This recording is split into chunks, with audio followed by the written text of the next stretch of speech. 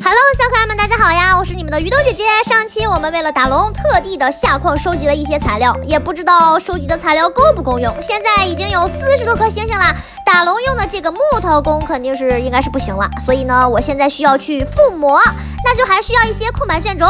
哎，这个空白卷轴，呃，我们先去收集一下甘蔗，甘蔗就只有这些了。现在还得要一些皮革。对不起了，我的牛，我要去杀牛了。等等，哎，算了算了，毕竟都是我这么辛辛苦苦一手养大的牛啊，我怎么能对它下去这个手呢？所以呢，我决定还是把它们先喂饱了再杀吧。是不是能多获得一些材料呢？还能再给我多生一些牛宝宝？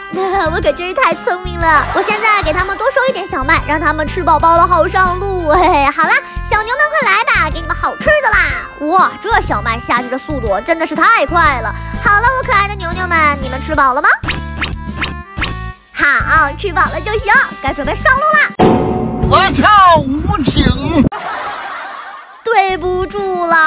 是为了我的父母，没有办法呀。为了你们这么久，总不能白喂吧？快把你们的皮革统统交出来吧！我去，还藏起来了，没有用的，快都给我拿出来吧！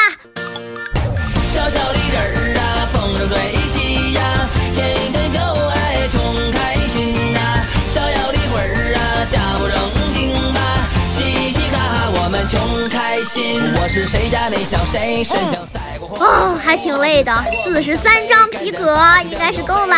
先制作一些空白卷轴。好了，我先拿这几张试试啊，试试。我要附魔了，我不求别的，就给我一个无限射击就行了。之前附魔怎么都没有出来过，先拿一个试试水啊。哇，这是逆天了吗？这是第一个就是无限射击，我的妈耶，竟然第一个就出来了！哎呀，这真的是欧气爆棚了呢。再看看其他的啊。它其实已经不重要了，有一个无限射击二，那真的就是满满的满足感呐！啊，但是师傅说过了，这个还需要耐久，耐久还没有出来呢。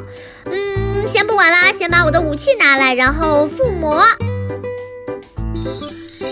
啊，我的第一把武器也附魔出来了，然后再把其他的弓也附魔。哎，原来在背包里面也是可以给弓直接附魔的，那我再去做几把弓不就好了嘛？全都附魔这个，嗯，好吧，还是没有出来耐久。